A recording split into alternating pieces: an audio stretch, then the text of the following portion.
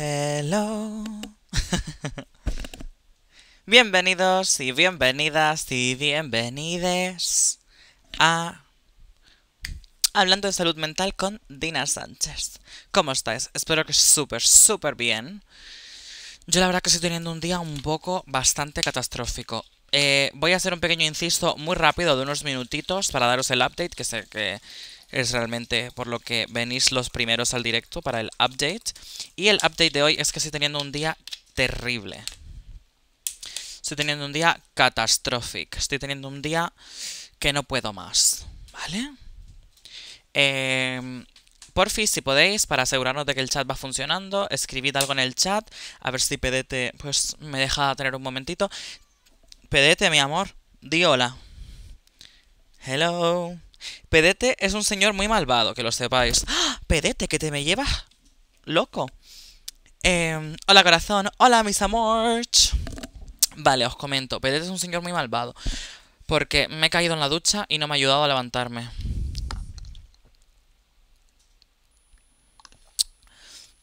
Sí lo digo. Sí lo digo. Vale.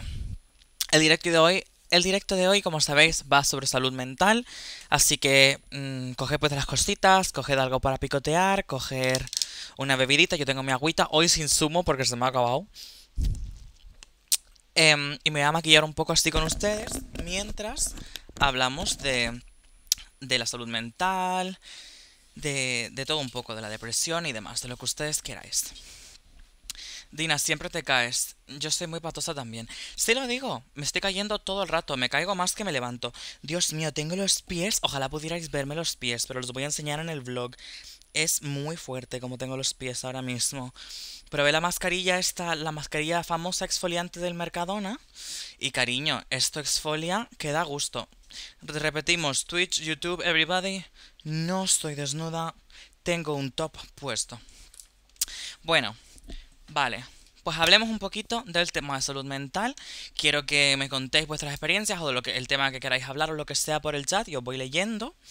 Me gustaría eso, que todos pues tuviéramos una conversación juntis, everybody, todo el mundo hablando de, del tema. Vale, me gustaría que fuese una conversación, no tanto un yo hablando sola y esperando que ustedes digan algo, ¿sabes? Me gustaría que que fuéramos hablando de un poquito de todo y tocar un poquito todos los temas. Sobre todo dar ya a decir que ni soy psicóloga, ni soy ninguna profesional, solamente estoy hablando de mi experiencia y es un tema que estamos tratando. No estoy ni intentando ayudar a nadie, ni medicar a nadie, ni informar a nadie. Estamos solo hablando, como si fuéramos amigas charlando. ¿Os parece? Bueno, pues empiezo yo. eh, yo tengo muchos problemas, y creo que esto ya lo hemos hablado alguna vez, eh, los que ya me sigáis desde hace tiempo en YouTube y demás, tengo problemas con la validez, la validación eh, y la aceptación de la sociedad, de los hombres, un poco todo. Creo que me viene un poco por el tema de ser trans, obviamente, que es bastante común que las trans, pues, las chicas trans no nos centremos en lo, en lo malo, que es centrarnos en que un hombre nos acepte y nos valore y sentirnos que somos lo suficientemente femeninas como para ser eh, valoradas y demás. Pues me pasa un montón. Eh, a día de hoy lo he conseguido tratar, ya cada vez me pasa menos, pero sí es algo que, que me sigue pasando. No sé hasta qué punto siento que tú tienes que lidiar con tus propios problemas en el sentido de yo pues me he estado dando láser, he estado haciendo cosas por mí. Ahora, ahora mismo es lo más fea que me siento, pero no es la primera vez que siento que no busco validación masculina. Incluso quitando el hecho de que ahora mismo sí tengo pareja y tal, estaba por fin en el momento mental más, no necesariamente positivo, porque también, también hablaremos de la depresión, pero en el que siento que no busco la, la validez de nadie. Antes yo necesitaba ir súper maquillada, no, no solamente porque me gustase el maquillaje, sino necesitaba ir maquillada y perfecta a todos lados, por si me veía alguien, por quién me va a ver, por qué puede pasar, por si algún chico me ve y se da cuenta de que soy trans. Tengo que ir maquillada siempre, arreglada siempre, las uñas siempre hechas, todo siempre perfecto, las pestañas siempre puestas, todo esto así, la, la peluca siempre pegada. Y ahora es como, estoy en un punto en el que como que todo me da un poco igual. Sinceramente. Voy a poner este espejito aquí para sentir que os estoy mirando un poco más a la cara, ¿sabes? Si no, estoy como mirando a la nada. Y así me puedo arreglar aquí con ustedes. Em, entonces sí, siento que ahora por fin he mejorado mucho el tema de la, de la validez. Ya me siento válida por mí misma. Y sé que a la, a la gente que no, que no lo sienta, pues me va a decir, Dina, menuda tontería. O sea, claro que eres válida por ti misma, es que no entiendo qué te pasa. Pero desde pequeña siento que... A mí lo que me explicó también mi psicóloga fue que suele pasar, suelen ser traumas que se nos crean desde pequeños y yo sentía que también que luchaba un montón por la atención de mis padres y demás, mis padres divorciados, mi padre solamente me tenía un día a la semana y yo como que moría por estar ahí, ¿no? Por, por tener esa atención de mi padre. Lo veía ese día de la semana y era como, wow, el mejor día de la semana, porque claro, mi madre la veía todos los días, mi madre es más estricta, mi padre es más lolailo, entonces me encantaba el sentimiento de ir a ver a mi padre y hacer cosas con él, e intentar que me dijera bien hecho y cosas así. Era muy raro, era muy de película, pero realmente se sentía así y siento que eso me ha llevado a, a seguir creciendo y seguir buscando esa validez, en este caso masculina. Porque sí, la verdad que se siente genial porque las chicas somos las que más criticamos. Se siente genial cuando una chica se te acerca y te dice, Dios mío, te ves increíble, te alegra todo el día. Pero muchas veces yo sentía que me arreglaba y hacía cosas por la validación de los hombres. Y ya por fin, llegados a este punto con 27 años, noto que por fin he dejado de hacerlo. Ahora, si me hago las cosas es por mí, porque a lo mejor si yo me veo muy fea, me arreglo. Eh, ¿Crees que te cuesta saber qué cosas haces por ti y qué haces por la opinión de los demás?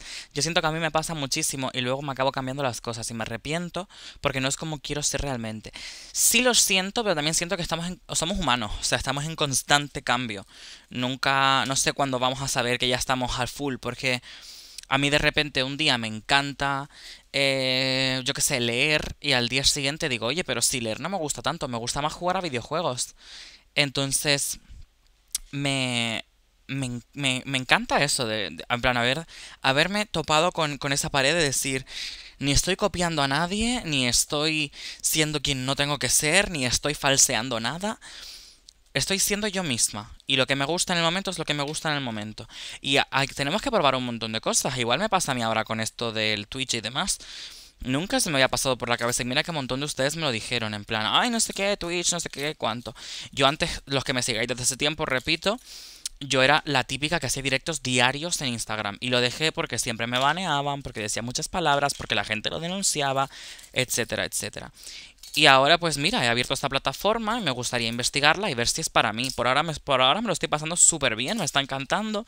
Y encima el hecho de Hello People de YouTube, poder compartir eh, los directos en YouTube también pues me gusta porque así no abandono ningún tipo de plataforma y puedo subir esto rollo un vídeo de forma larga a YouTube para que también estéis entretenidos y, y encima seguir con Twitch, pero igual con todo, o sea, yo sentía antes que no podía jugar a videojuegos, no me podía gustar Pokémon, no podía hablar de temas de chicos porque tenía que ser perfecta, tenía que ser una chica súper femenina, tenía que hablar de lo que las chicas hablasen, actuar como las chicas actúan, todas estas cosas así, y eso sí sé que no lo hacía por mí.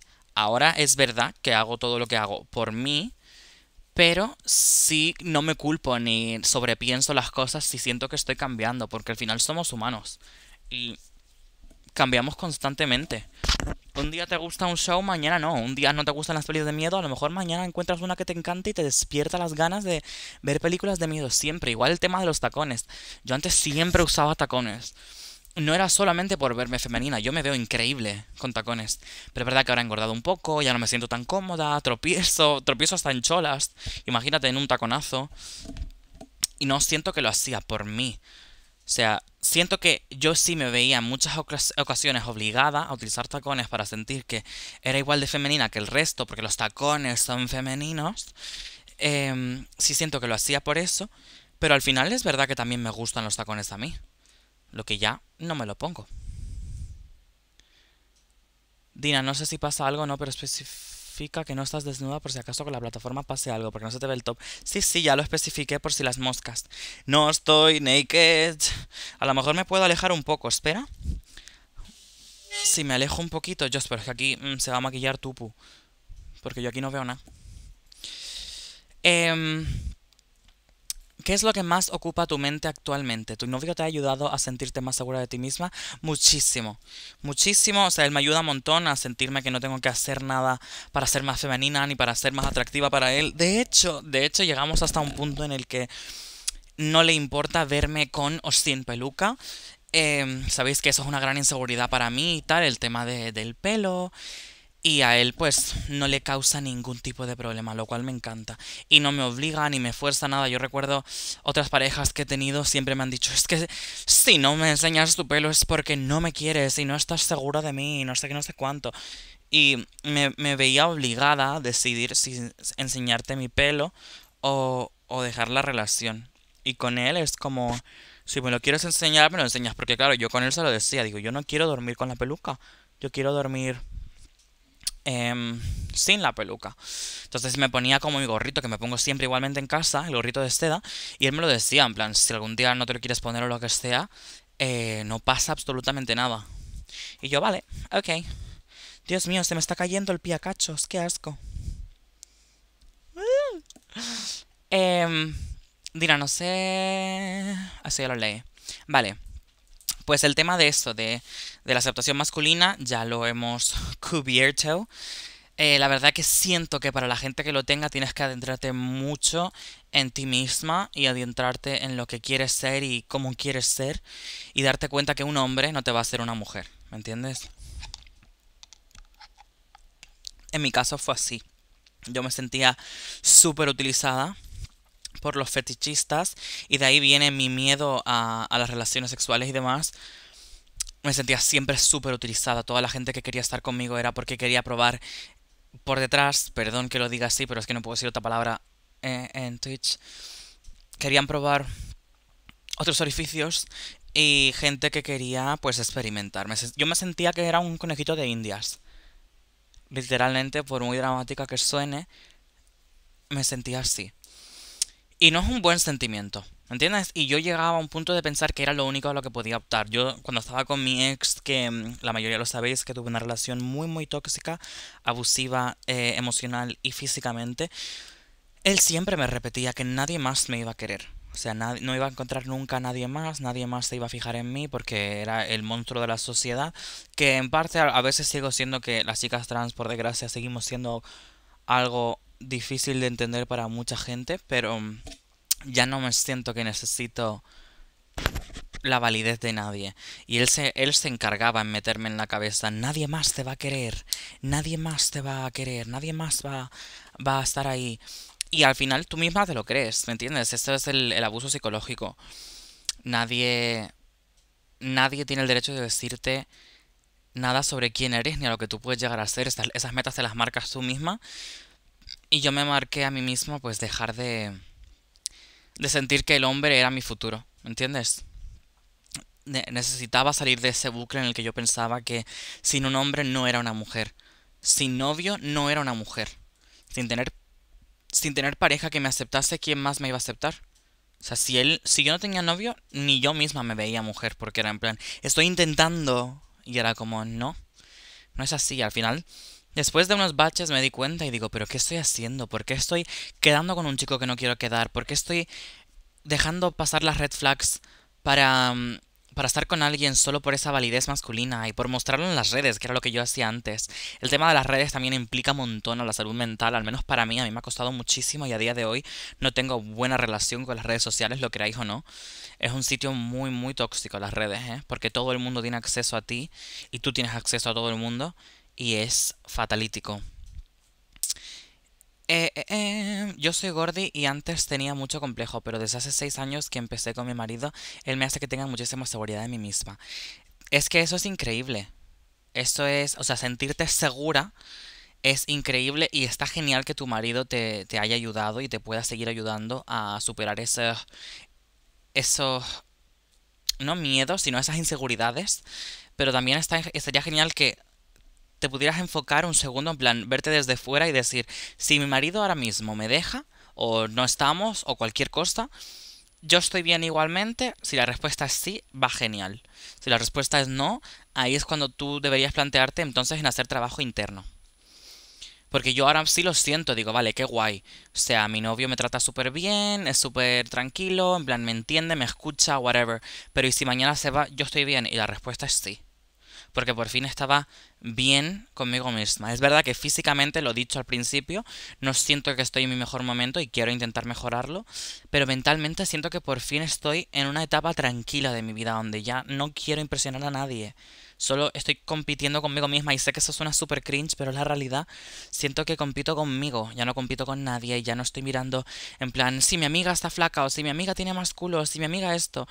Entonces, ya no me comparo y ahora veo las flags clarísimas y desde que alguien me haga un comentario que me ofenda, no me lo callo y si me lo callo es porque te voy a sacar de mi vida y punto. Solo doy batalla si siento que es necesario darla y si siento que te puedo aportar algo a ti, un conocimiento a ti, o si siento que va a reforzar la relación, ya sea de amistad, pareja, lo que sea.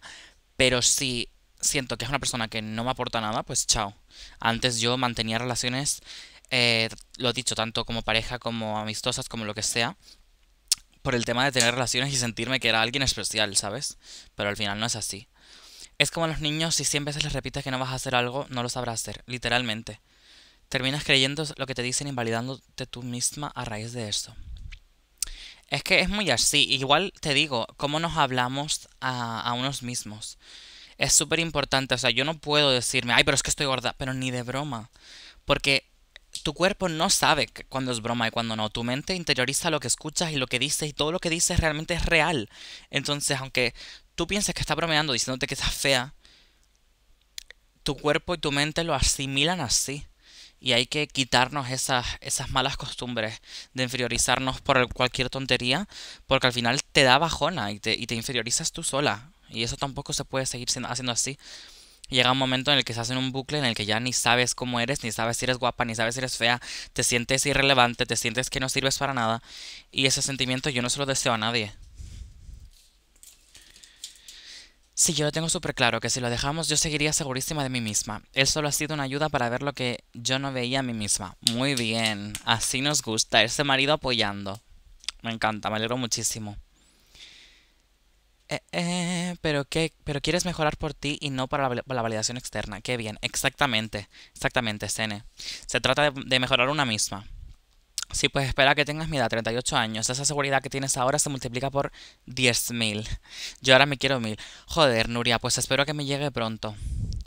O sea, siento que estoy bien, pero necesito un empujón. Y sé que el empujón que me falta, y sé que va a sonar fatal, el empujón que me falta es centrarme en mi físico. O sea, la inseguridad que me falta ahora mismo es mi físico. Ya todas las inseguridades mentales, emocionales, todo esto, los celos, todas estas locuras, ya las he cubierto.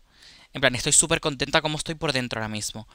Pero me encantaría poder sentirme igual de bien que me siento por dentro por fuera. Me encantaría empezar a ir al gimnasio de verdad, tener dinero, en plan, volver a tener dinero.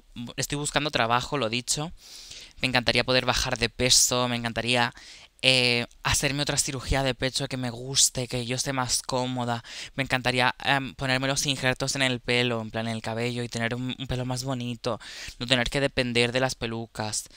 Me encantaría hacerme tantas cosas que me quitaran. Por ejemplo, yo antes era súper insegura de mi nariz pero súper insegura. Y ahora puedo hacer así y me da igual, me da exactamente igual. Pero antes no podía. Y la, alegría que me da incluso a día de hoy, seis meses después de haberme pinchado, porque solamente me la he pinchado, y me da igual tener que pincharme cada, cada año, la seguridad que me ha dado eso ha sido impresionante. O sea, es un sentimiento que le deseo a todo el mundo, de que si tenéis una inseguridad, da igual, quitaosla, porque os quita un peso enorme de encima. Mis relaciones, todo ha mejorado el sentir que ya no tengo que esconder mi cara, porque antes yo lo sentía así y ahora es como increíble. O sea, y me gustaría poder sentir eso con todas las partes de mi cuerpo. Hola, mi gusano. Hi, baby. Si pudieras pedir un deseo, ¿qué pedirías? Pediría ser millonaria. Sinceramente.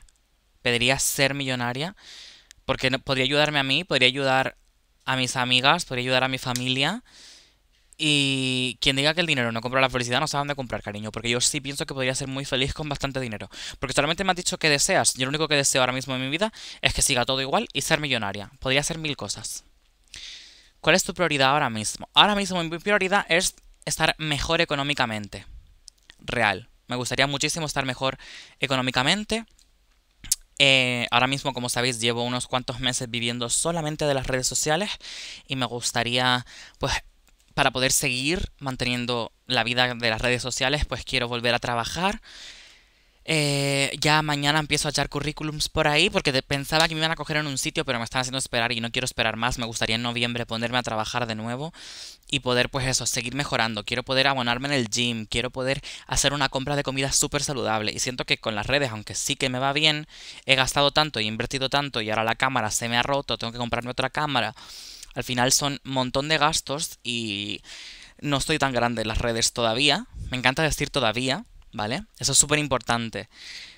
Decir todavía, porque en tu mente tú sabes que va a llegar ese momento.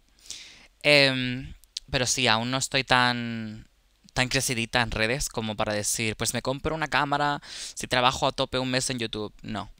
Tengo que pagar alquiler, tengo que pagar comida, tengo que pagar la comida de PDT. PDT tiene vacunas también el mes que viene, tengo que cortarle el pelo. Tengo mil cosas que hacer para mí. Quiero ir a ver a mi novio a Inglaterra. Se vienen navidades. No puedo solo con las redes ahora mismo, mis corazones.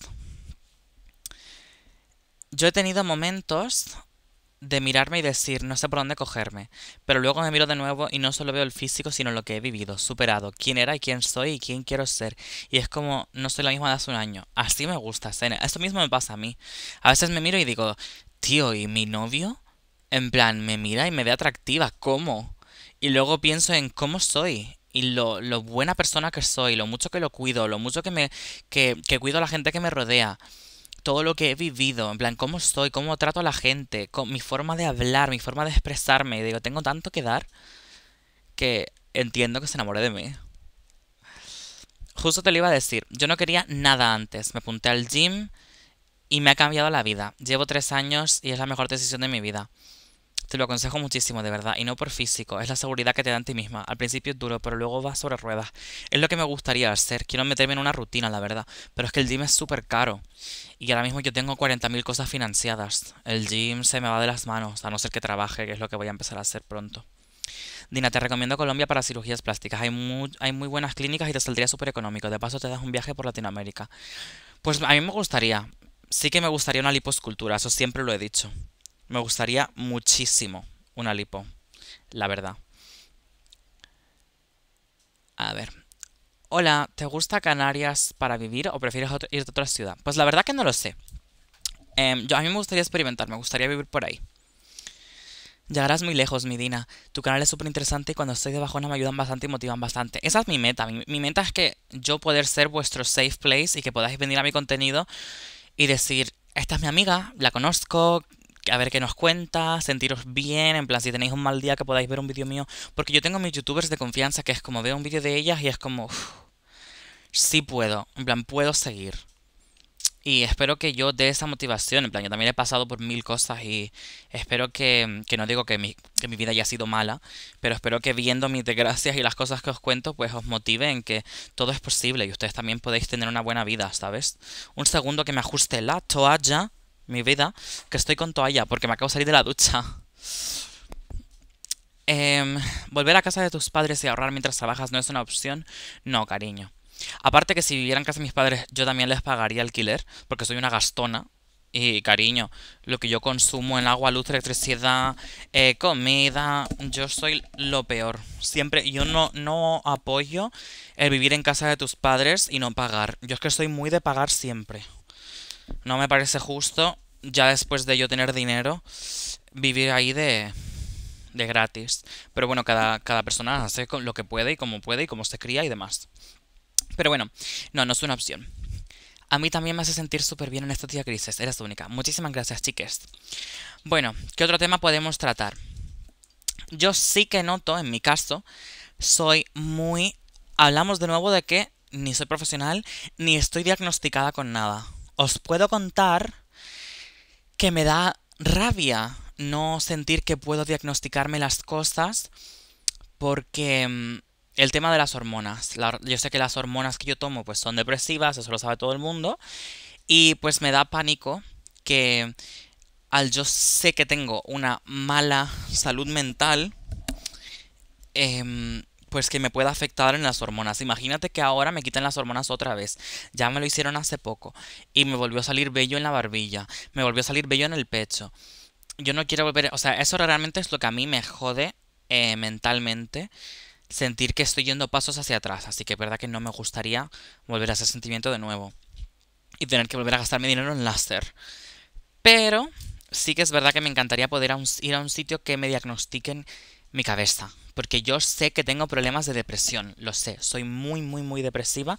De hecho, no sé si recuerdan el año pasado, yo estuve viendo a una psicóloga y hablábamos un poquito del tema y yo soy súper depresiva, me meto en bucles de depresión, he tenido pensamientos oscuros, no sé si se puede decir la palabra que empieza por ese en Twitch, así que no la voy a decir, pero he tenido pensamientos muy oscuros. Y es un pensamiento que ronda muchísimo mi cabeza. No entiendo muy bien por qué. No entiendo por qué rondan mi cabeza esos pensamientos, pero es verdad que siempre que pasa algo negativo en mi vida, mi, mi cabeza me dice, pues mira, total, ya vete, ¿sabes? Ya total, para estar viviendo así, ríndete. Es como ahora, en plan, estoy compartiendo casa con una amiga. No tengo trabajo. Las redes no me van súper bien. Mi novio está súper lejos. Eh, no sé qué voy a hacer. No sé ni dónde estoy. Entonces mi mente es como, mira, total. O sea, ¿qué más te da? Tírate por un puente. O sea, literal, sé que suena súper mal decirlo, pero real que mi mente funciona así. Y me encantaría pues que se me pudiese diagnosticar algo o, o, al menos saber qué tengo o por qué lo pienso, si es normal, si no es normal, porque lo pienso con muchísima frecuencia. Sé que tiene un nombre, que mi psicóloga me lo dijo, que es cuando, cuando la gente no toma acción, es porque realmente sí que tienes una esperanza de vida, pero el pensarlo no está bien. Entonces, esos momentos, como acaba de decirse, en los momentos maníaco-depresivos, los tengo muchísimo, pero muchísimo. Tengo altos problemas de ansiedad, em, me, me, arde todo el pecho, la cara, me pongo toda roja a la mínima, a la mínima cosa que pase en mi vida que sea un inconveniente, ya tengo un gran problema, el estómago se me revuelve, me paso horas en el baño, me duele la barriga y los pensamientos. Y eso la verdad que es, es muy, muy, muy jodido y estoy intentando administrarlo. Igual me pasa con mi novio. A la mínima que tenemos una pelea, eh, es como esto no va a funcionar, soy súper negativa. Súper, súper negativa y me da rabia saber que estoy enamorada de alguien y que a la mínima yo pienso que no me quiere. A la mínima yo pienso... Pues mira, acabamos esto, porque para estar así y realmente es mi cabeza, que yo hago, yo hago, y luego al rato me calmo y lo analizo y digo, joder, pero es que si era yo todo el tiempo. Me, me doy cuenta de las cosas que hago y demás y... A ver, no todo el tiempo, ¿eh? No le vamos a quitar presión a donde no la hay. Él también la caga mucho. Pero no estamos hablando de esto en el directo de hoy. Eh, pero sí noto que, que soy demasiado intensa, siento demasiado. Sobre todo negativamente. Le doy muchísima muchísima importancia a todo lo negativo. Si me pasa algo malo hoy, en plan, por ejemplo, hoy me caí en la ducha y ya yo siento que mi día está arruinado, pero arruinadísimo. Entonces, no sé, me encantaría poder ir a una psicóloga o a un médico y que me miraran qué tengo en la cabecita. Pero sí me da pánico que me diga, mira, eres una persona súper depresiva, vamos a tener que quitarte la dosis de hormonas, vamos a tener que quitarte las hormonas en general y cariño, yo produzco una de testosterona que flipas. O sea, que flipas. A mí se me cae el pelo de la cabeza sin parar y me crece pelo en todo el cuerpo, incluido en la cara, sin parar. Por eso me doy láser todo el tiempo. Porque sí, ahora estoy muy lista, muy cute, muy tal, no tengo que utilizar mucho make-up. Pero yo hace unos años parecía un oso en la cara. Y cuando yo estuve dos meses sin hormonas, parecía un oso en la cara otra vez. Estaba toda gris porque tenía un montón de pelos por toda la cara otra vez. no se imaginan el choque que es para, para mi cabeza el decir, me, me, veo y me siento femenina, me he gastado un montón de dinero en láser para que luego me quiten las hormonas unos meses y me salga todo el vello de nuevo. Es horrible. Ya os leo, un segundo.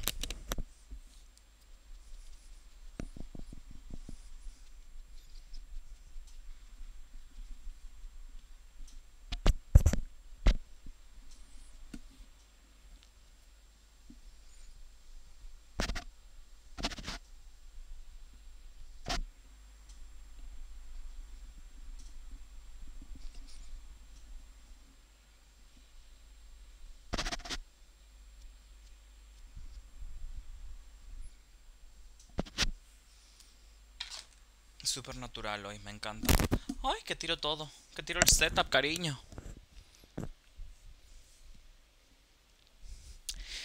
Em, lidiar con ello no es... Ah, no, espérate, perdón, perdón. Yo llevo un año en terapia, es lento y jodido, pero pensar que no estoy igual que hace un año me ayuda mucho. Ya, a ver, yo también, te lo digo, los meses que estuve con psicóloga fueron increíbles. Lidiar con ello no es nada fácil, es necesario más que un psicólogo, más un psiquiatra.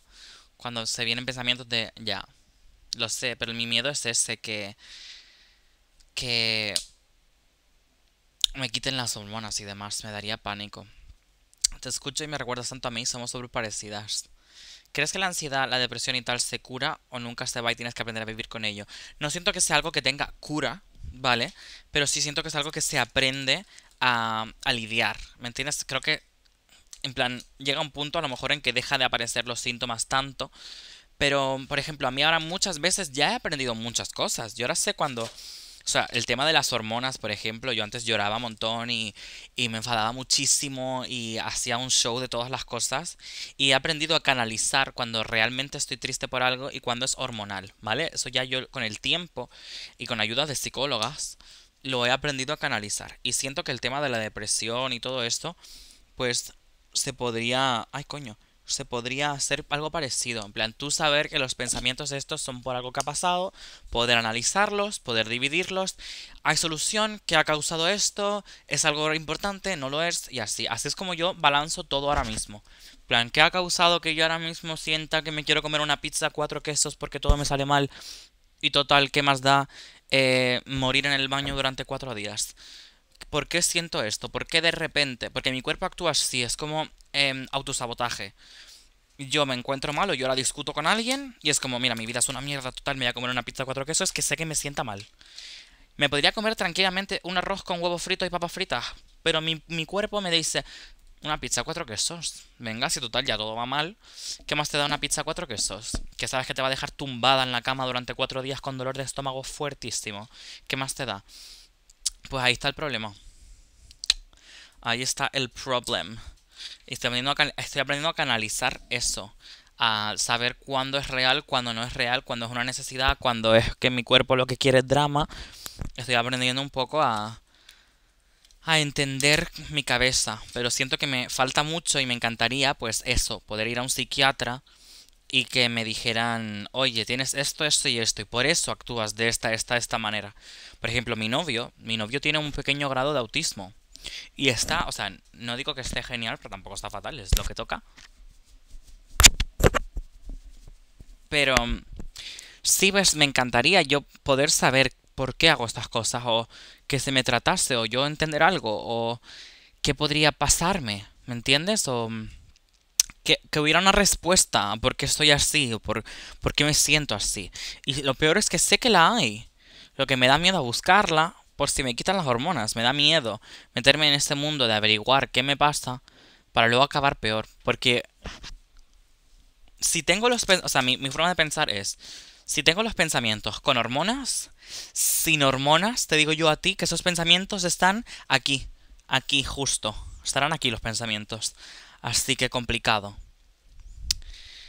Yo creo que la depresión más que curarse es como que entra en un estado de adormecimiento, pero que puede saltar por cualquier episodio un poco más traumático. Yo siento que todo vuelve.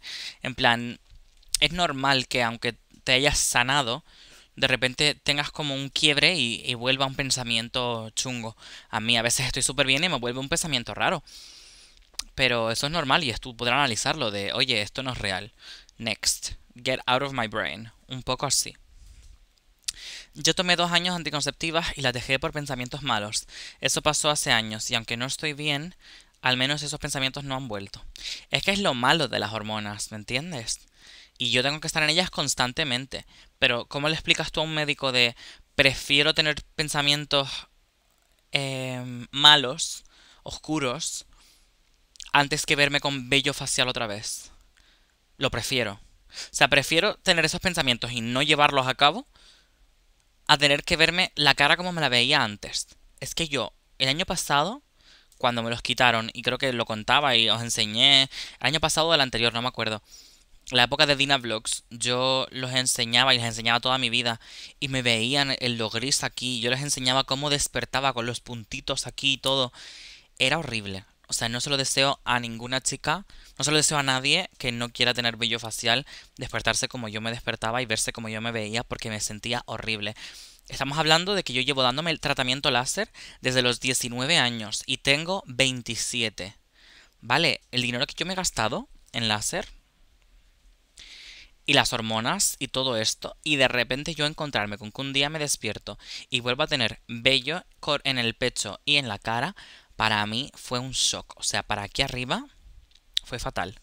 No podía más, ni un segundo.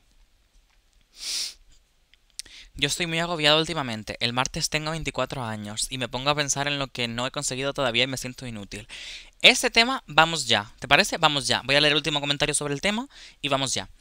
Pero es que ambas cosas a ti te producen un malestar, es decir, si te ves bello facial tampoco te sientes bien, por lo tanto puedes recurrir a esos pensamientos también. Claro, ese es el problema, a eso es lo que voy.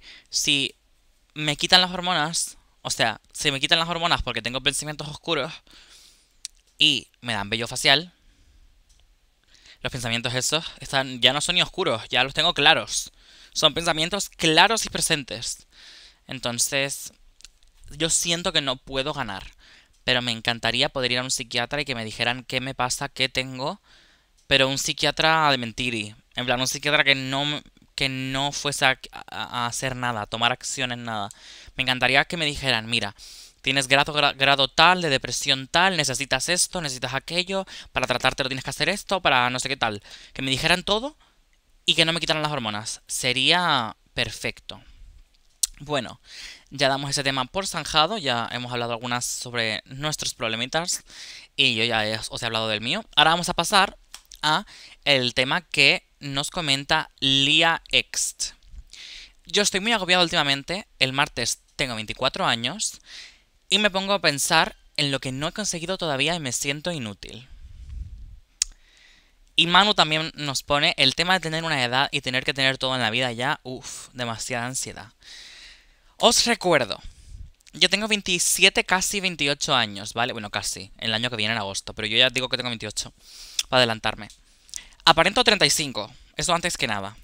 Llevo en YouTube desde los 15, puede ser, porque yo subía vídeos a YouTube, ya estoy contado todo esto. Yo sabía que quería las redes sociales desde muy peque, yo no tenía amigos en el instituto, así que yo llegaba a mi casa y con mi portátil Acer, que tenía en aquel entonces, tenía los efectos estos de ponerte la cara de alienígena, el negativo, el photobooth, pero el, barato, o sea, no el de Apple, sino el de Acer y todas estas cosas random. Yo hacía covers de Demi Lovato, yo bailaba en el jardín eh, Party in the USA de Hannah Montana. Eh, todo esto yo lo subí a YouTube. Yo sabía que quería ser una persona de redes. De hecho, hubo un tiempo que salió una aplicación que no sé si nadie la recordará, que se llamaba Vidi, V-I-D-D-Y, en el que yo era de los top 10 usuarios. O sea, tenía un montón de seguidores. Yo tenía una cuenta de Instagram con 87k, con miles y miles de likes por publicación. De repente, de la noche a la mañana, esa cuenta se hackea.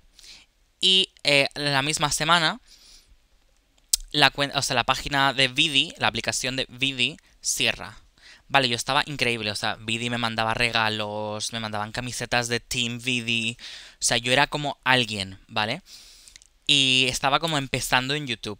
Y nunca se me ocurrió la idea, o sea, yo en aquel momento no entendía nada de redes, no se me ocurrió decir a la gente de Vidi, oye, tengo canal de YouTube, podéis verme para allá. Entonces yo estaba empezando de cero en todas las plataformas. Eh, recuerdo lo difícil que era en aquella época en Instagram, ¿vale? Os hablo de mi experiencia. Aquella época en Instagram era muy difícil el tema de la lupa. Tenías que conseguir, creo que eran mil likes los primeros 30 minutos o algo así. Y aparecías en la lupa y ahí te veía gente. Era como estar en, la zona popular y tenías tiempo y la gente te iba viendo y te seguía un montón de gente nueva muy rápido. Aparecían siempre las típicas, en plan Am Kim Kardashian, alguna influencerilla de aquella época no eran influencers, pero en plan Shane Dawson. Gente así. Y de repente, em, pues a mí me pasó y yo hacía covers, tenía vídeos cantando en Insta, la gente me seguía como loca y esa cuenta se hackeó. Vidi cerró como Vine, porque empezó Vine justo y yo no, estaba en Vine porque me, seguía en Vidi. Y me vi en la mierda. Me vi con que mis sueños se acababan de desvanecer lo, lo, llevo intentando, llevo intentando crecer en redes desde entonces. Crecí una vez por un escándalo, luego se me desmonetizó todo, luego tuve que cerrarme las cosas y abrirlo todo de nuevo. Me he creado varios canales, ninguno ha triunfado.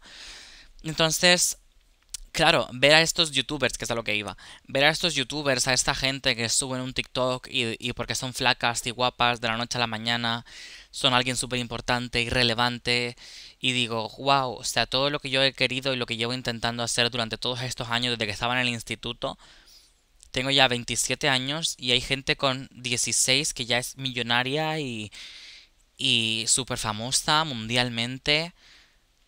Todo lo que yo siempre he querido ha sido en plan pues esto, las redes, ¿sabes? Y, y tener mi propia casa y hacer música y tantas cosas. Y es verdad que a veces te despiertas y dices, joder, Dina, tienes 27 años y tienes 300 euros en la cuenta bancaria.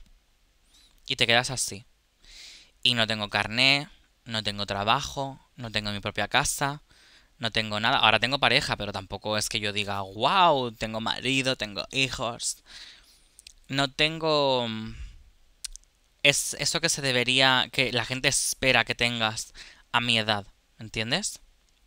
Yo pienso en eso todos los días, tener casi 21 y no haber entrado en la carrera...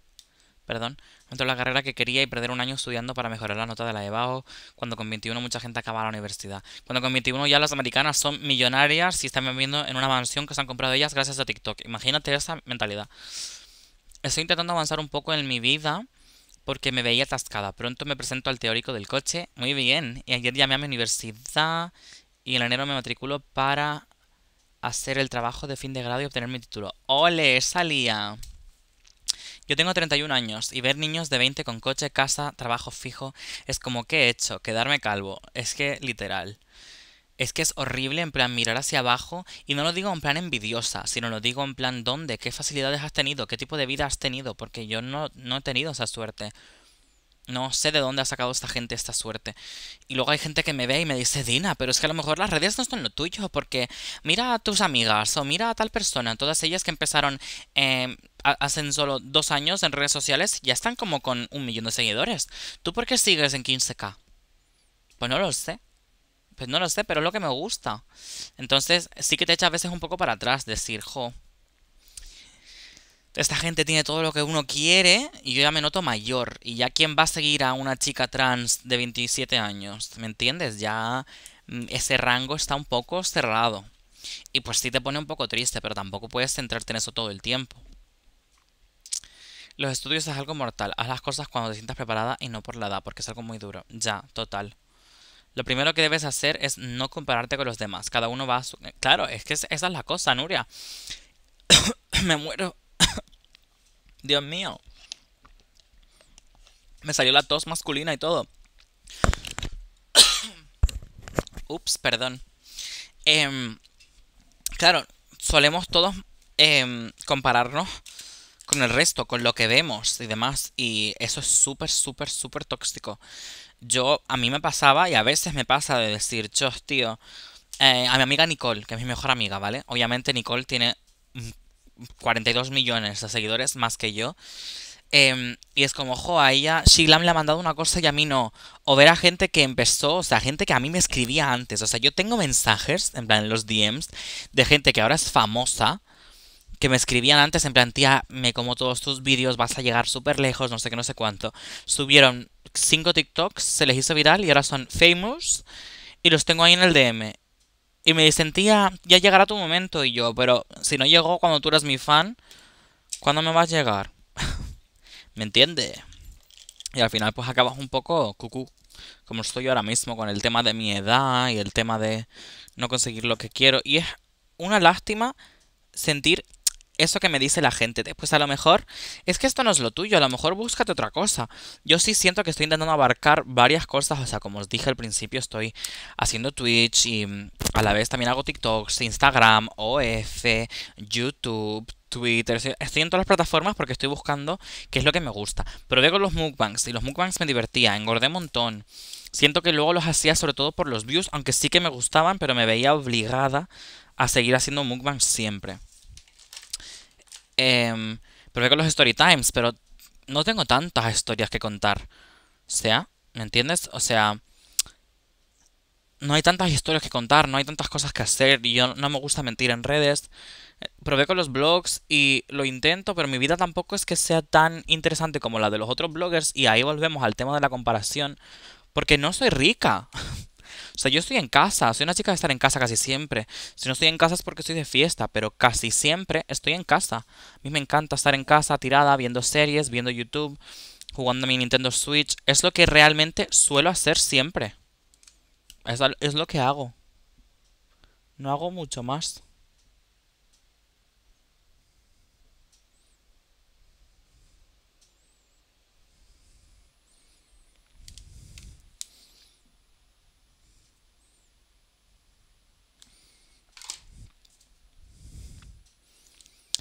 Tengo 29.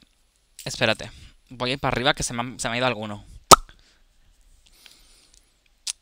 Yo tengo 38 años, no tengo hijos, no estoy casada, no tengo vivienda propia y soy feliz. Y mis amigas están todas casadas y con hijos.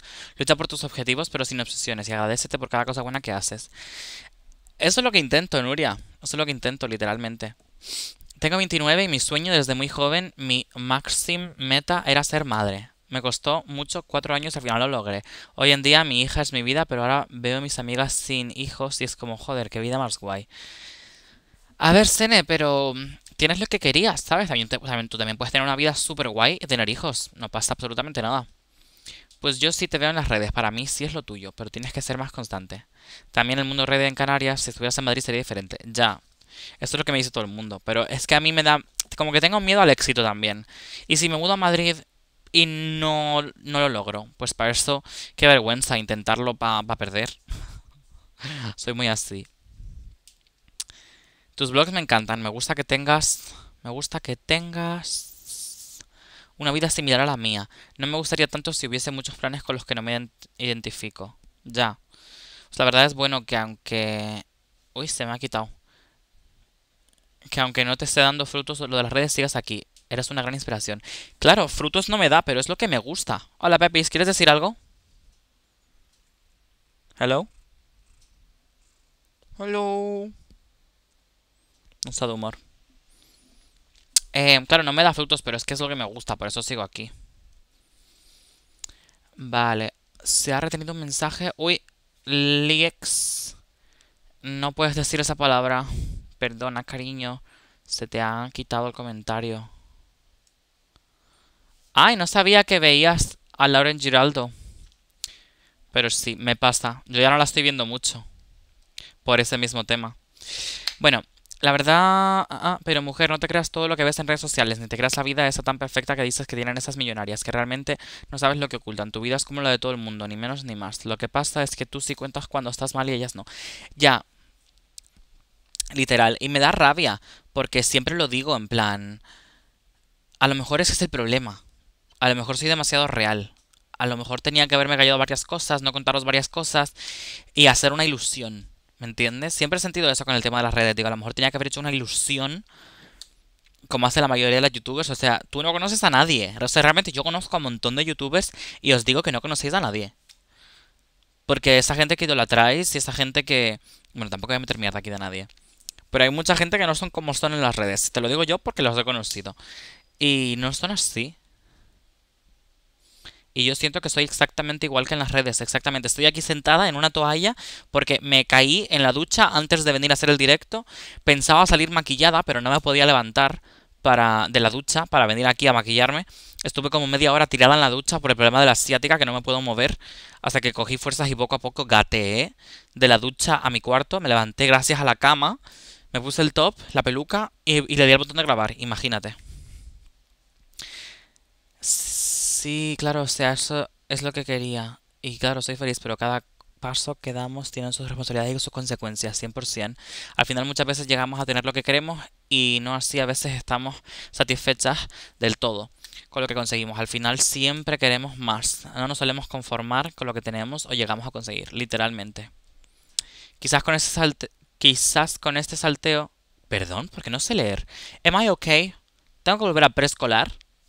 Quizás con este salseo sí te hace viral cuenta, cuenta. No voy a contar nada de nadie, es que esto no es lo que me gusta. Oye, somos 22 personas en el chat. Me gustaría recordaros que me podéis seguir. Me gustaría mucho llegar a 150 seguidores. Porfa, please. Eh, y cada vez que alguien me sigue aparece una cosita por aquí eh, con un poquito de polvo de hadas. Os lo dejo saber. Por fin que somos 22 y me gustaría mucho llegar a 150 muy muy pronto. En dos días así ya monetizamos el canal de Twitch, lo que me hace muy feliz. Así que si me estás viendo por YouTube, no te olvides de que mi Twitch es Dina Sánchez también y me puedes seguir para allá. Eh, ¿Qué más os puedo contar? ¿Qué más problemas? El problema de la comida. Dios mío, la comida. No sé si esto, también siento que hay que tener mucho cuidado porque esto le puede triggerear a mucha gente. Sé que esto le molesta a mucha gente hablar de este tema. Pero la comida es. Es un gran problema para mí. Yo siento que he tenido em, un gran problema emocional Estamos a punto de meternos en terrenos. En terrenos fondosos. Hablando de la comida, ¿eh? La comida ha sido mi apoyo desde pequeña. Partimos de la base de que yo recibía bullying. Em, yo llegaba a casa y me... O sea, me, da, me pegaba un atracón de lo que hubiese en casa. O sea, mi madre había hecho potaje para dos días, yo me lo comía todo. Repetía y repetía y repetía, me lo comía todo. Había pechuga empanada, me lo comía todo. Había no sé qué, me lo comía todo. Y luego arrasaba con la cocina, arrasaba con todo. y sigo a día de hoy siendo así, lo estoy intentando controlar.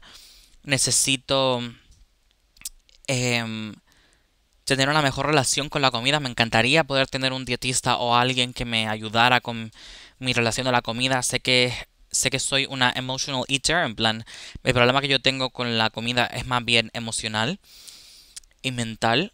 O sea, estoy mala, es lo que hablábamos antes. Yo ahora tengo un problema y no lo sé afrontar, no lo sé asumir. Mi, mi mente me dice, cómete algo que te haga daño. Es como, no sé si puedo decir esta palabra en Twitch, pero hay muchas formas en las que una persona con depresión o una persona que tiene pensamientos oscuros se llega a autolesionar, ¿vale? Y la mía, es verdad que en el instituto, ¿vale? En el instituto, mi psicóloga de, de aquel entonces del instituto se llamaba, no sé si bueno, no lo voy a decir por si le puede dar una mala repercusión, pero la psicóloga de mi instituto me ayudó muchísimo porque ella y una de mis amigas aquel entonces eran las únicas dos personas que sabían que yo me estaba autolesionando y me ayudó un montón a dejar de autolesionarme de esa manera. Pero yo tenía otra forma de hacerlo y esa, forma nunca se fue y es la comida. Mm, no quiero ponerme a llorar tampoco, pero es algo que es una de las cosas que no he conseguido tratar y me da rabia sentir que tengo el cuerpo que tengo y estoy como estoy por este problema que tengo yo no sé administrar mis emociones, no sé si ahora estoy mal, si ahora estoy triste, mi cuerpo me dice que tengo que comer. Y ahora me cuesta un montón, ahora mismo que estoy como mala, ¿vale? Con el tema de la asiática y estoy con medicamentos y demás, tengo que recordarme, ¿vale? Tengo que recordarme em, que tengo que comer, ¿vale? Porque llevo días, llevo un montón de tiempo que como muy mal y he hecho la estupidez esta de dejar de comer y comer una vez al día súper poco para verme más flaca, porque realmente sí te ves más flaca. O sea, es la realidad, si dejas de comer te ves más flaca, punto. Pero luego cuando vuelves a comer algo, tu cuerpo lo, lo, guarda. Y lo guarda como grasa porque le hace falta porque tu cuerpo piensa que le vas a hacer pasar hambre de nuevo y te vas a crear un problema en el estómago, te vas a ir viendo cada vez más hinchada, más gorda y no se te va a quitar el problema que tienes que es que deberías tener un ámbito saludable con la comida y hacer ejercicio. Y eso yo todo lo sé. Pero claro, tengo el grave problema, que es lo que os cuento, de de no controlar mis emociones. Y a la mínima que estoy un poco triste o enfadada o me pasa algo o estoy estresada, mi cuerpo me, me, dice que coma. A lo mejor yo ya acabo, acabé de comer y mi cuerpo es como, no, pero acabas de discutir con tu novio. Tienes que sentirte peor. O sea, a lo mejor sí, estás triste, pero tienes que sufrir. Tienes que comerte un kebab con montón de alioli, pan con ajo y queso, una pizza cuatro quesos. Os recuerdo, ¿vale? Os reitero que soy intolerante a la lactosa y alérgica al ajo la, alergia, no es súper fuerte, en plan, sí me hace sentir mal, pero sigo comiendo ajo y sigo comiendo lactosa. Entonces, ¿qué te digo? Pero en pocas cantidades.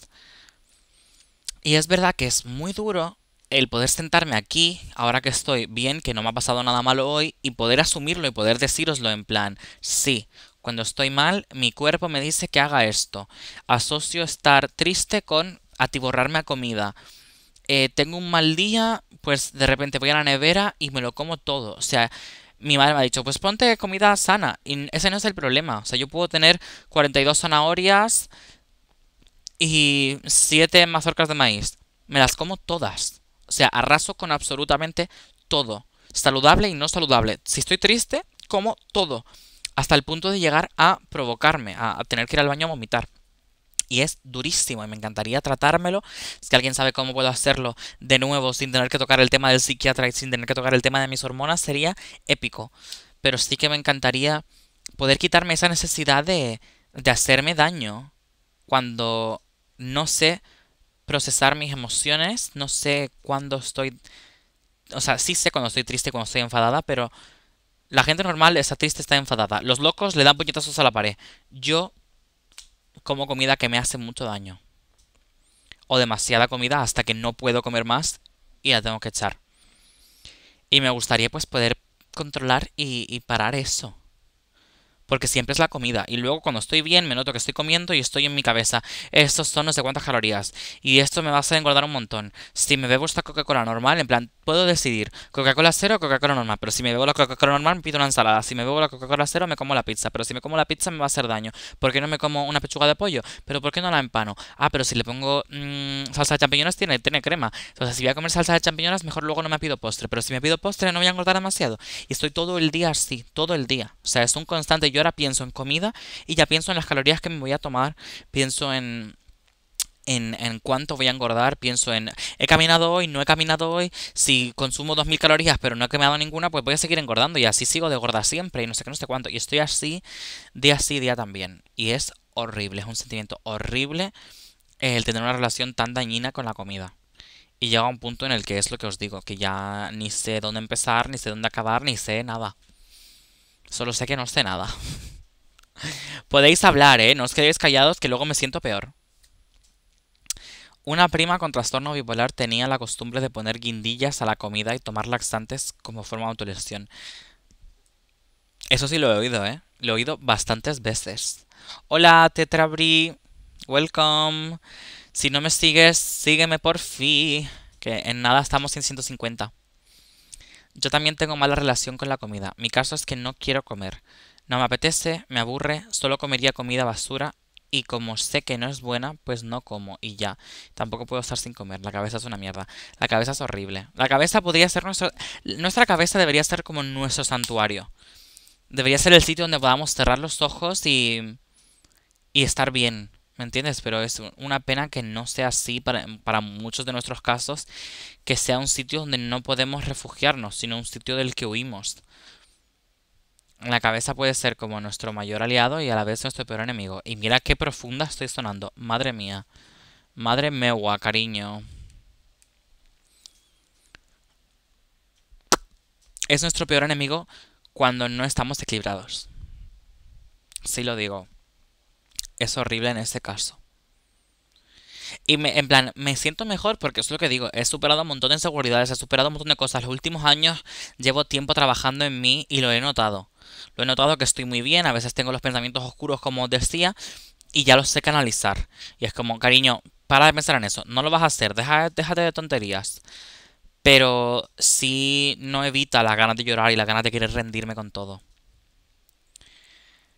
A ver. Yo soy intolerante a la lactosa y a veces la como aposta, luego sabiendo que me va a sentar mal. Mi mente es mi mente es bueno, puedo comer mucho por lo que... ¿Perdón? Ah, mi mente es, bueno, puedo comer mucho por lo, porque luego lo voy a echar todo y no engordo. Ya, lo peor es que no es así. Lo peor es que no es así. Tú lo sabes, ¿no? Que solo... Es que yo lo he mirado. Fíjate, a, a tal punto de locura he llegado que yo lo he mirado eso. Eh, no sé si es un tema del que se debería o no se debería hablar, pero que sepas para la gente que dicen que solamente expulsas un 30 o 40% de las calorías que consumes. Que sí, que sí, que si a la gente quiere... O sea, tampoco te voy a aquí a ser tonta y decirte, si quieres bajar de peso, es estúpido que vomites. Es estúpido que vomites. Pero bajar de peso lo bajas. Porque si te comes una hamburguesa y al rato la vomitas, tu cuerpo mantiene el 60% de las calorías. En las, las otras 40 las vomitas. Pero el hambre va a volver. Porque te faltan esas 40. Que ya le diste y luego le quitaste. Entonces es un ciclo malo y encima te hace un montón de daño. Al estómago, a la garganta, aquí arriba. Es un bucle que es difícil salir. Te sigo desde el primer directo. Y en Insta y en YouTube. Estoy esperando a que seas afiliada para suscribirme. ¡Oh! Muchísimas thank yous. Pues ya en nada, creo que en dos días o así ya somos afiliados en Twitch. Mi gente de YouTube, si estás viendo esto, contaros que en Twitch en breve voy a estar afiliada. Si queréis ver los directos más rápido que nadie, afiliarse significa suscribirse. No estoy 100% segura cuánto cuesta la suscripción, pero estoy entre que era 3 euros o 5 euros, algo así. Eh, por lo que tengo entendido, yo me llevaría la mitad. Twitch se lleva la otra mitad. Aunque si tienes eh, Amazon Prime, te sale gratis la suscripción. Te lo dejo saber. Eh, haré cositas especiales para los suscriptores, directos especiales, charlas especiales. Y haremos cositas, lo prometo. Pero soy súper, súper, súper agradecida de la gente que me ha dicho que se va a suscribir. Aunque sea poquito, obviamente, es un granito de arena. Así que os lo agradezco muchísimo. Es un juego de nuestra mente para engañarnos. Literalmente. Literalmente sí lo digo. Nuestra mente, como decíamos antes, al igual que Sene, es nuestro peor enemigo cuando no estamos equilibrados. Eh, la mente es un sitio bastante oscuro. Tenemos que cuidarla, tenemos que... Es como si fuera nuestra habitación, como si fuera nuestra casa. Yo quiero que mi mente sea un cuarto bonito, cute, con florecitas rosas aquí como tengo aquí, con peluchitos, que huela bien y que haya gatitos y conejitos saltando y ranitas en un estanque que sea un sitio súper cute y súper acogedor en el que yo quiera cerrar los ojos y estar. Pero por ahora es un sitio del que puedo estar un ratito, pero no llego a estar un rato largo porque es como ir a casa de tu tía, ¿no? Puedes estar un rato, pero no estés mucho porque te va a empezar a criticar. Entonces me siento un poco así, es como una cena familiar en la que estás bien y saludas a todo el mundo y tú, hola, ay, cuánto tiempo, ay, que me alegro de verte, tal, te sientas, la gente habla entre la gente. Pero de repente llega un punto en el que la conversación se gira en torno a ti y están todos preguntándote qué tal tus notas, tienes pareja, tienes novio, tienes trabajo, eh, metas, de, futuro, estás gorda, estás fea, no comas tanta tarta que te vas a seguir engordando. Entonces llegas a un punto, en mi caso, que mi cabeza se ha convertido un poco en eso, en un sitio en el que ya he mejorado, ya puedo tocar la puerta, puedo pasar, puedo sentarme, puedo beberme un vasito, una tacita de té, pero ya cuando vas a coger la galleta, ya mi cabeza no es tan cute. Ya tengo que levantarme de la silla e irme antes de que se, ponga chunga la cosa. Y eso es lo que he sintiendo. Espero que hayáis entendido mi metáfora. Pero sí, eso es lo que he estado sintiendo últimamente. Psicológicamente, la verdad que ha sido bastante oscuro, oscurito. Voy a poner un poquito de tinte, que sabéis que no puedo vivir sin mi tinte este del... Del primor de... Creo que de la marca You Are the Princess, ¿puede ser? Si lo encuentro, porque no sé dónde lo puse. Lo acabo de ver hace un momento. Así que I don't know dónde lo he puesto. Y con las asiáticas que no me puedo mover ni para los lados. Mm, pues no lo encuentro. No hemos quedado sin tinte, mi gente. Ay, Pedete está aquí durmiendo. Miren qué cute. El pedetín. Hola, mi vida. ¿Qué te ocurre? ¿Quieres atención? Yo también.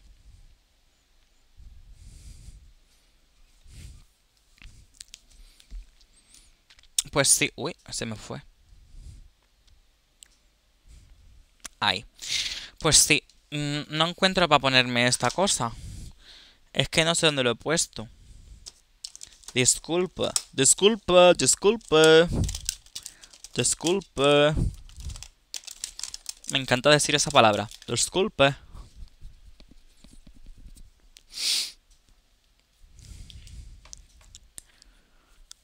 No entiendo bien qué es la disforia. ¿Tú la has sufrido? No quiero hablar sin... Ah, sin tener los datos. Y no quiero equivocarme. Así que vamos a buscarlo en Google. ¿Qué es la disforia?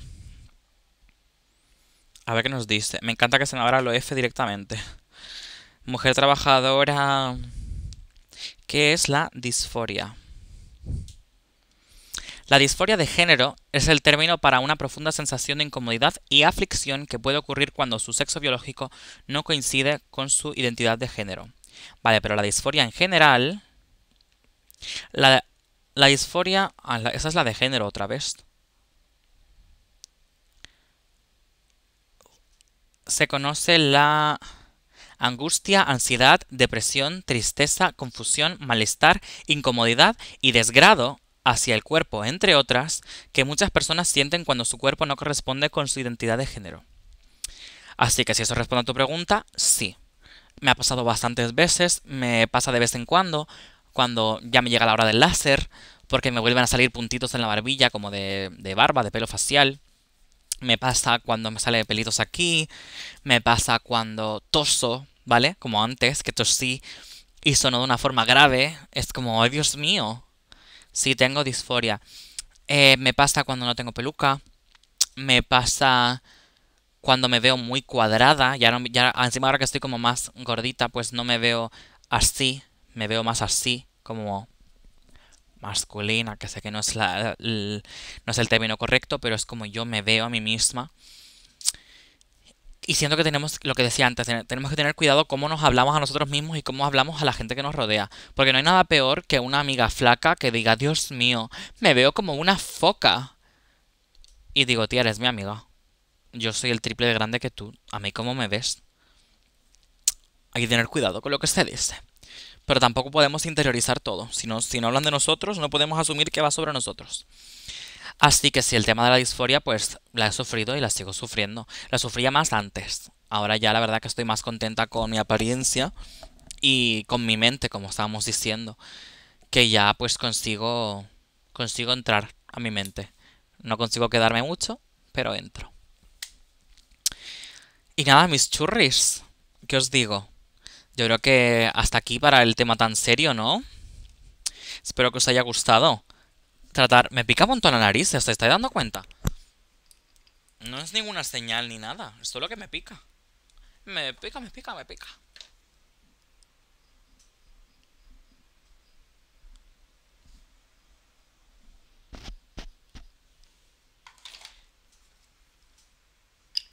Eso es lo que tiene Megan Fox, ¿no? Que es brutal y ella no se ve tan guapa como es, literal. Pero eso nos pasa a montones. Yo no me veo tan guapa. Me lo estoy empezando a creer, pero no, no me veo tan guapa y ustedes me veis increíble. También pienso que eso va con... O sea, la disforia es más personal. Ustedes a lo mejor me veis más guapa porque ya os caigo bien. ¿Me entiendes? Eso pasa un montón. Tú a alguien lo ves. A mí, ¿sabes con quién me pasó? Y no quiero hablar mal de nadie, pero para que tengáis un ejemplo, porque nos pasó, nos pasó a muchas, ¿vale? Viendo la serie de The Idol, no sé si la habéis visto, en HBO, la de The Idol, la hija de Johnny Depp, Lily Rose Depp y The Weeknd, Vale, viendo la serie, yo veía el primer capítulo y dije... ¿Quién es esta actriz? Es como medio feota. Lo dije yo. Y las chiquillas... Perdón, las chiquillas me dijeron, ay, pues sí, no sé qué. No, no dije que era feota, sino quién es. No, no era como la típica protagonista súper preciosa, súper guapa, súper tal. Y luego la conocimos, o sea, no la conocimos. La serie fue yendo hacia adelante y durante los episodios, pues te vas enamorando de ella y al final la ves preciosa. O sea, yo ahora mismo, ahora mismo. Hello. Yo ahora mismo veo a Lily Rose y digo, eh, qué pedazo de pibón, qué pedazo de tía más guapa. Lo digo, ¿qué? Ah, vale. Acaba de llegar Casey a casa. Eh, eso ahora la veo y digo, qué pedazo de pibón. Y creo que que se debe a eso, a la personalidad. Pero la disforia es más interna, es como tú te ves. Yo, por ejemplo, muchas veces me veo fea y la gente me ve guapa, pero eso no cambia que tenga disforia o no, porque es algo más personal. Y sí, dicen que eso es lo que tiene Megan Fox, que Megan Fox no se ve atractiva. Y digo, Dios mío, la mujer más guapa del mundo que no se ve atractiva, lol. Pero de nuevo, esa es nuestra percepción de la belleza. Eh, tema para mañana, no sé, ¿qué temas gustaría tratar mañana? No, no sé, la verdad. Si queréis, os puedo poner una cajeta, una cajita de preguntas en Instagram y podemos escoger algún tema y a lo mejor sale algún tema guay por ahí. Podríamos hacerlo así. más que elegirlo ya, porque ahora mismo me tengo que ir. Que me voy a ir al Mercadona a hacer una comprita. A lo mejor os la puedo poner en el vlog. Quién sabe. Pero la verdad que me lo he pasado súper bien. Ha sido un tema bastante serio. Espero que os haya gustado este lado serious de mi parte. Y he visto que habéis estado interactuando, así que genial, me alegro muchísimo, thank you very much. Os recuerdo que me podéis seguir, que me ayuda muchísimo en todas las redes, me ayuda un montón eh, que, me sigáis, de verdad. O sea, ya os he contado lo que me está pasando con el tema de las redes, así que cualquier tipo de ayuda, cualquier tipo de compartir, como, si se lo decís a vuestra prima lejana, me vendría increíble. Y nada, yo seguiré por aquí como buena cucaracha que nunca muere. Y nada, que os quiero muchísimo y que nos vemos en el próximo. Gracias por todo. Gracias por hablar conmigo hoy y sobre todo gracias por escucharme. Siento que ha sido más terapia para mí que terapia para ustedes. Pero bueno, nada, eso. Que os quiero un montón y que nos vemos en el próximo. Chao. Os quiero mis amores. Chaito.